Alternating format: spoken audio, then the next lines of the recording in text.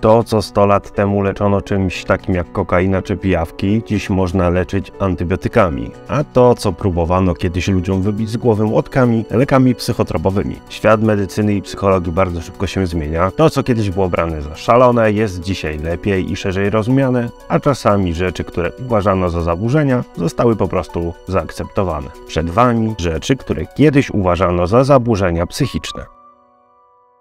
Numer 5. Zazdrość o penisa. Trudno wskazać bardziej kontrowersyjną postać w historii zdrowia psychicznego niż Zygmunt Freud. Stworzył całą dziedzinę psychoanalizy i prawdopodobnie rozwinął całą koncepcję psychiatrii i leczenia zaburzeń, jednocześnie popełniając przy tym bardzo dużo błędów. Zdaniem Freuda prawie każdy aspekt ludzkiej psychologii miał podłoże seksualne, a kobiety znajdowały się po tej gorszej stronie. To właśnie one cierpiały z powodu zazdrości o penisa, ponieważ chciały być mężczyznami. Ten dziwny pogląd wpłynął na prawie wszystkie jego opinie na temat kobiet, które w jego mniemaniu były niczym więcej niż wybrakowaną wersją mężczyzny. Uważał, że zazdrość o penisa przejawiała się tym, że kobiety pragną swoich ojców w młodym wieku, a później chcą mieć małe dzieci płci męskiej, ponieważ już bardziej będąc kobietą nie można czuć się, że ma się penisa. Chore, no nie? Numer 4. Nostalgia. Cała popkultura wydaje się być napędzana przez nostalgię. To poczucie sentymentalnego ciepła i przywiązania, jakie mamy do rzeczy naszej przeszłości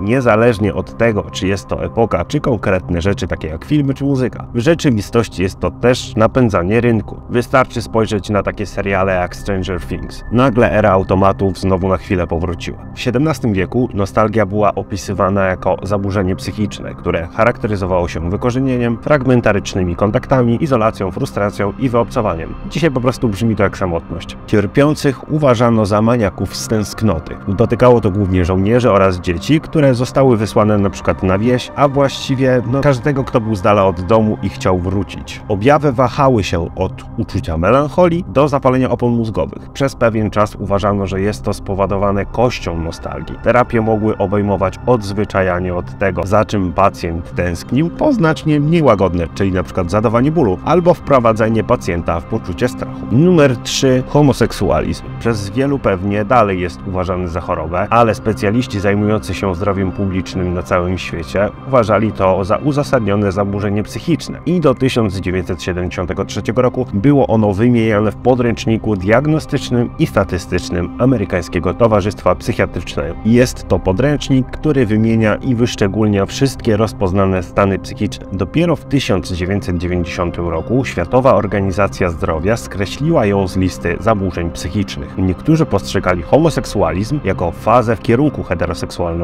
której niedojrzały zasadniczo utknął. Inni uważali, że mogło to być spowodowane jakąś wadą prenatalną lub ekspozycją na jakiś patogen. Inne przekonanie utrzymywało, że homoseksualiści mają po prostu mózgi przedstawicieli płci przeciwnej, co powoduje, że przyciąga ich niewłaściwa płeć. Wypróbowano oczywiście wiele lekarstw, takich jak hipnoza oraz przekonywanie pacjentów, że nie są homoseksualni. Inne zaś bywały bardziej agresywne i okrutne, np. terapia elektrowstrząsowa lub lobotomia. Historia zna też przypadek, kiedy lekarz wykastrował homoseksualnych mężczyzn, a następnie przeszczepił im heteroseksualne jądra. Choroba niewolników. Pierwszy statek niewolników przybył do Ameryki w 1619 roku i przez następne 246 lat, aż do uchwalenia 13 poprawki, niewolnictwo było całkowicie legalne. W tamtym czasie niewolnicy nie byli uważani za ludzi, ale to nie powstrzymało niektórych lekarzy, żeby traktować ich jak ludzi do własnych celów. Uważano, że u każdego niewolnika, który próbował uciec z niewoli, musiała wystąpić jakaś choroba. Nazywano ten stan drapetomanią i właściciele niewolników mogli go wyleczyć, wyrywając lub odcinając im palce u nóg. Twierdzono, że z medycznego punktu widzenia niewolnik nie może być szczęśliwy, jeżeli nie jest niewolnikiem i że ma niedojrzały układ nerwowy i mały mózg. Wszystko to przyczyniło się do propagandy rozpowszechnianej przez właścicieli niewolników, że niewolnicy faktycznie czerpią korzyść ze swojej pozycji i że ich właściciele w zasadzie wyświadczają swoim niewolnikom przysługę. Numer 1. Histeria. Sięga ona II wieku przed naszą erą i jest ogólnie uważana za chorobę psychiczną, która dotyczyła tylko kobiet. Kobiet. Wyleczyć ją miało uprawianie więcej seksu, no chyba, że uprawiasz go dużo, to uprawiaj go po prostu mniej. Czasami używano ziół albo ognia. Małżeństwo też miało być panaceum na ten problem. Freud zapoczątkował ideę, że jest to stan psychiczny spowodowany traumą i represjami, a ponieważ był to Freud, jego podstawowym rozumowaniem było to, że kobiecą histerię powoduje brak penisa. Kiedy tradycyjne metody leczenia nie pomagały, to skuteczny miał być masaż macicy. Była to technika opracowana po raz pierwszy w leczeniu odbytu i obejmowała dość inwazyjną stymulację manualną. Według danych kliniki leczyły dziennie ponad 100 pacjentów. Kiedyś uważano, że maseczka z radu to dobry pomysł na cerę, tak jak zdrowym było depilowanie rentgenem. Jeżeli chcecie poznać 10 zabiegów medycznych, które kiedyś były popularne, a po czasie okazało się, że są mega szkodliwe, to klikajcie w kartę, która właśnie się pojawia na ekranie. Dobrego tygodnia. Na razie. Elo.